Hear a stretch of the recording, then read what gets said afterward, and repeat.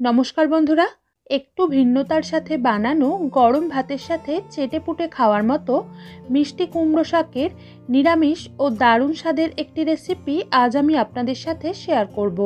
পুরো ভিডিওটি দেখলে আশা করছি রেসিপিটা আপনাদেরও ভালো লাগবে। তাহলে আজকের এই ভিডিওটিতে দেখে নিন সুস্বাদু এই রেসিপি আমি কীভাবে বানিয়ে থাকি।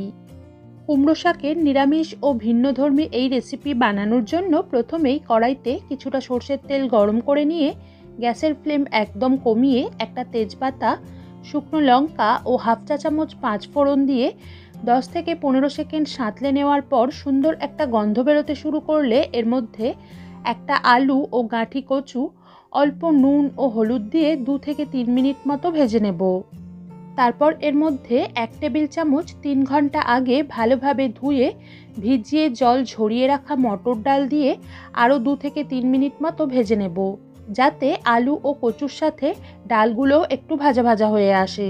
এবার এর মধ্যে আধখানা ছোট সাইজের টমেটো কুচি, এক চামচ আদা বাটা, অল্প একটু লঙ্কা গুঁড়ো, হাফ চা চামচ হলুদ গুঁড়ো এক চা চামচ জিরে গুঁড়ো আর সামান্য একটু জল মিশিয়ে টমেটোর টুকরোগুলো পুরোপুরি নরম হয়ে আসা পর্যন্ত কষে নেব।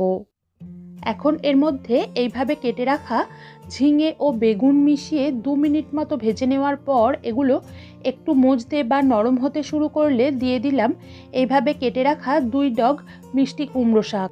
এর পরিবর্তে আপনারা চাল কুমড়ো শাকও ব্যবহার করতে পারেন। এর সাথে সাথেই পরিমাণ মতো নুন মিশিয়ে কিছুক্ষণ নাড়াচাড়া করে নেওয়ার পর যখন শাক থেকে এরকম একটু জল বেরোতে শুরু করবে, তখন এটাকে ঢাকনা দিয়ে গ্যাস একদম কমিয়ে রান্না হতে দেব আট থেকে দশ মিনিট মতো। এই পর্যায়েই এগুলোকে সিদ্ধ করার জন্য আলাদা করে জল দেবেন না।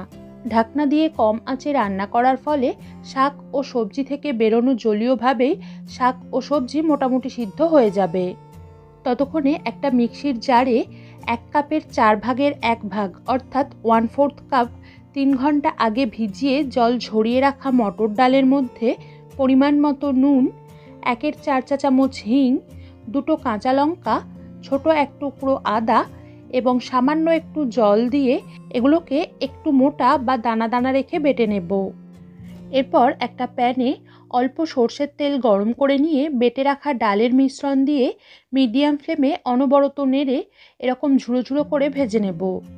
প্রথম পর্যায়ে ডাল বাটাটাকে ভাজার সময় কড়া বা প্যানের গায়ে একটু আটকে যেতে পারে। সেজন্য ভয় পাওয়ার বা ঘাবড়ে যাওয়ার কিছু নেই।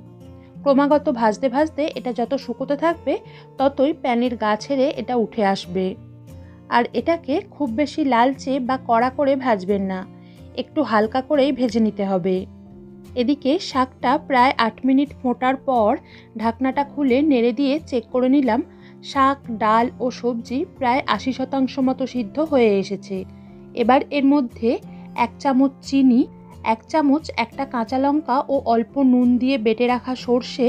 সর্ষে বেটে রাখার বাটিটা ধুয়ে অল্প একটু জল এবং ভেজে রাখা ডাল বাটার মিশ্রণ দিয়ে মিশিয়ে নেব।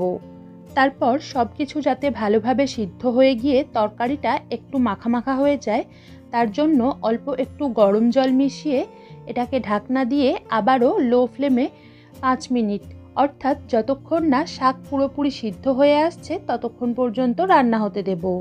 এবার ঢাকনা খুলে অল্প ভাজা বাদাম দিয়ে ভালোভাবে মিশিয়ে নেওয়ার পর গ্যাস বন্ধ করে এটাকে ঢাকনা দিয়ে পাঁচ মিনিট মতো ঢেকে রাখার পর একটা সার্ভিং প্লেট বা বাটিতে নামিয়ে নিলেই তৈরি হয়ে যাবে আজকের রেসিপি।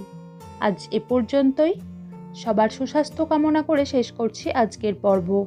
ধন্যবাদ।